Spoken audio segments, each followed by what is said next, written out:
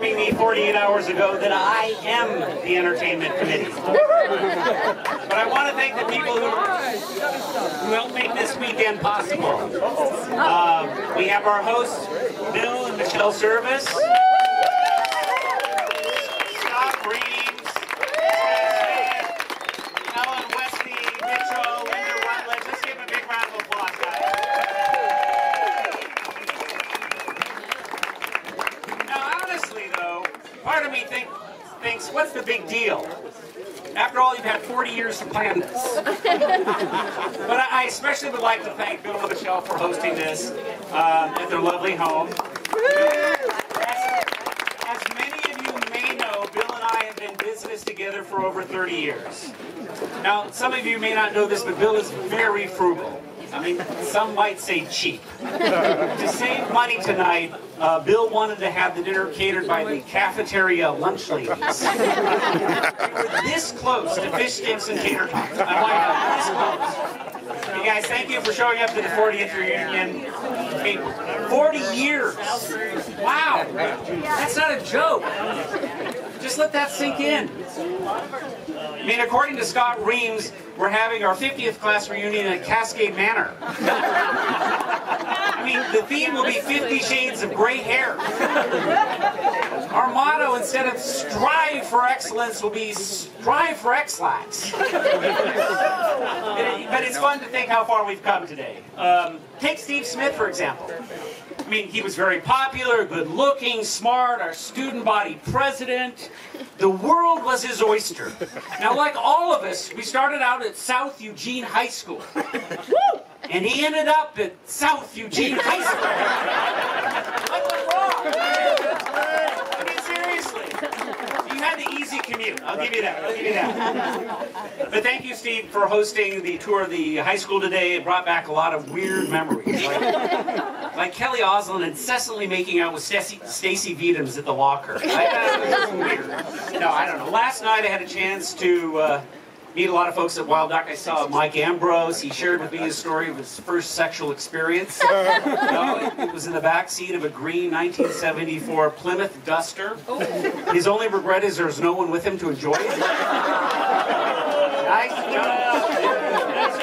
Hey, I ran into Jim Dasso. I asked him what he was doing. He told me he was still working on a paper for Harriet Wilson's AP English class. Wow. I think about our German teacher, Herr Webke. Yeah, silly expressions. Uh, I remember this. Now, class, you don't know zilch about boo. And quit yinging around the hallway and talking to Fifi and Trixie. I mean, German. If I'd only learned a more practical language, like uh, Latvian. But, uh, I mean, German is not a romance language. Try getting laid by saying, Sie müssen zugeben, dass die Sicherheitsmaßnahmen in Ihrer Anstalt ungenügend sind. Well done.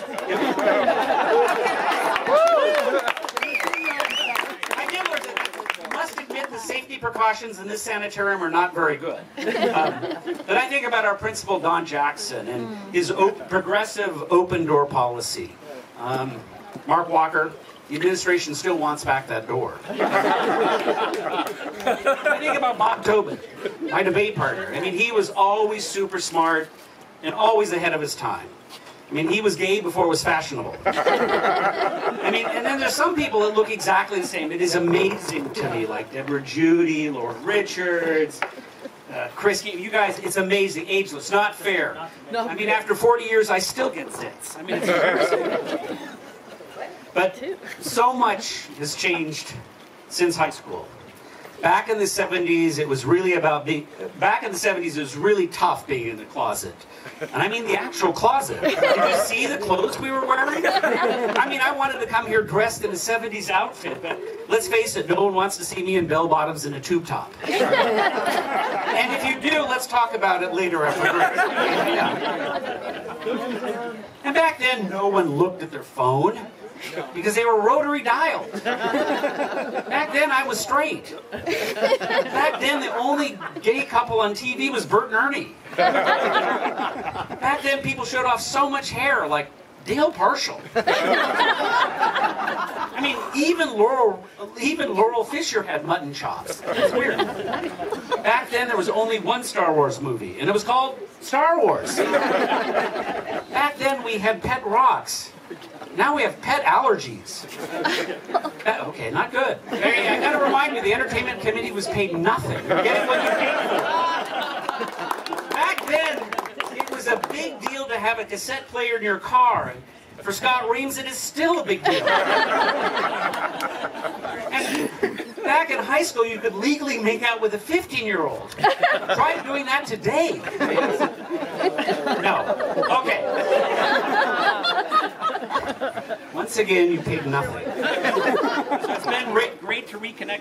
It's been great to reconnect with old friends and uh, at the Wild Duck and here tonight. Uh, some fascinating conversations.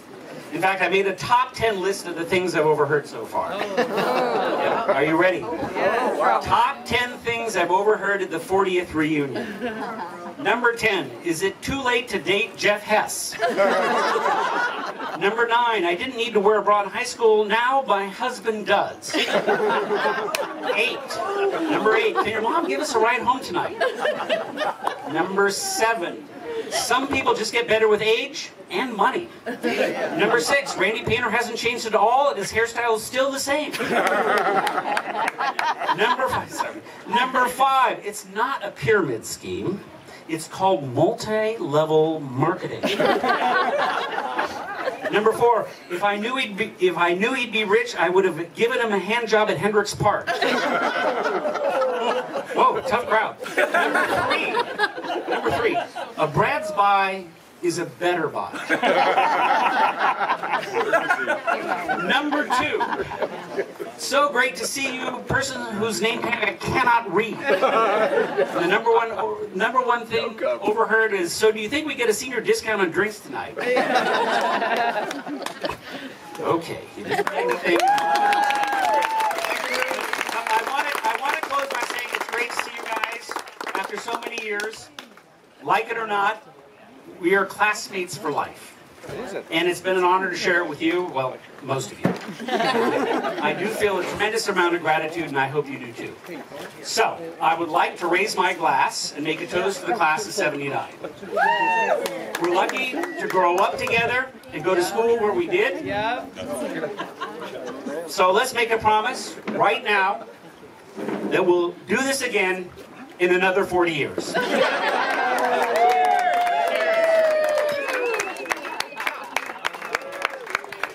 And I got the class here, I've just been told, the class here is given a gift to Bill and Michelle yep, for hosting this evening. Thanks.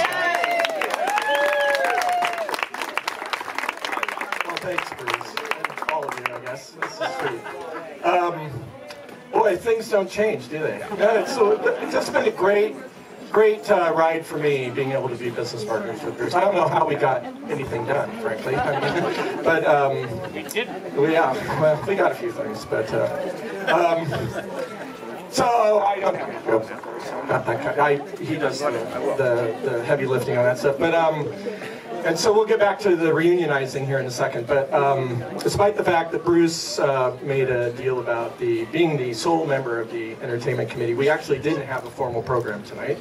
Uh, Steve Scott, the root, uh, sort of said no program, nothing. So, so sorry about the in, uh, interruption here, but um, I do. Uh, yeah, back to that. So um, I, but I want to share a personal story, a couple of personal stories, and introduce you actually to a special guest that here's, that's here tonight. So, uh, like just about all of you, I grew up here in Eugene, and um, when it was time to learn how to swim, uh, my mom took me to the Y. And I learned, I played basketball at the Y, I went to summer camp at the Y, I went, uh, uh, went to high school across the street from the Y. The director of the Y at the time was Carl Dubois. Turns out he was the father of a good friend of mine from the class of 1978, Rick Dubois. I got my first job at the Y.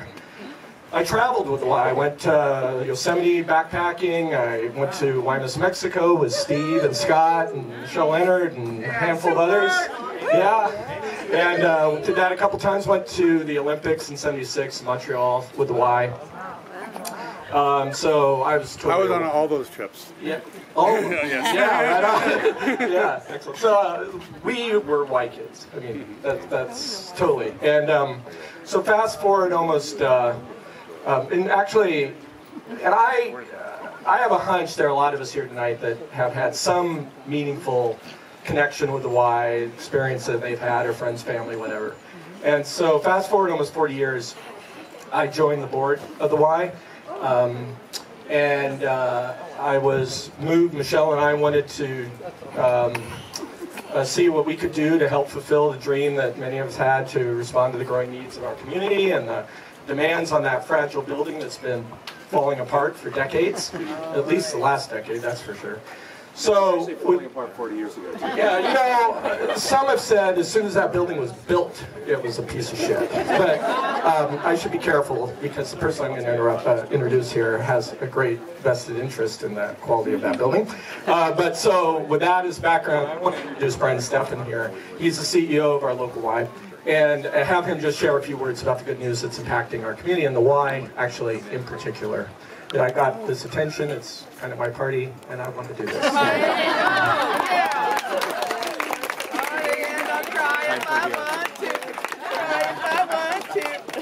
you, Bill. Thank, thank you for for introducing that and for taking a moment to let me talk about the work of the YMCA. I so I've had a few people tonight that have asked me if I'm part of the class of '79, and and I've, I've smiled a little bit. So I was born in '78. so I, I, but what, what I want to share with that is thank you for leaving a legacy in our community for, for many years. One of the things that I've also learned here tonight is that many people in, in South Eugene High School over the years they would go to the YMCA and they would eat lunch at the Boulangerie and one of the things that I've shared that's a little surprising for many of them is that Joyce Mixer is still at the Y every day. Right on! And yes, she's she's made her special taco salad for event. She's made her her turtle pie, and we have you know it's still a lot of wonderful connections to uh, Pass. The other thing is is how many of you graduated at Roosevelt Middle School? Junior high. Junior high. Junior high. Roosevelt Junior High. So that is the location where the new YMCA will be built. And you can drive by and look at where your old middle school used to be and see where the new Y will be. We are, we're very grateful for individuals like Bill and Michelle who have made the Y a passion point in their life and who have dedicated time to helping the, the new Y become a reality. This community has had a YMCA since 1887. And we're one of the oldest Ys in Oregon and one of the oldest nonprofits in Lane County. And we're excited to have supportive individuals like Bill and Michelle. Our Y just received $15 million in funding from the state to, to go towards that project. It was the largest non-municipal award that came out of this last session. So we're going to have a new Y and can't wait to have many of you come by and, and uh, take a tour before we tear down the existing building. Thank you, Bill. Yeah, and thank you, Michelle, for your time.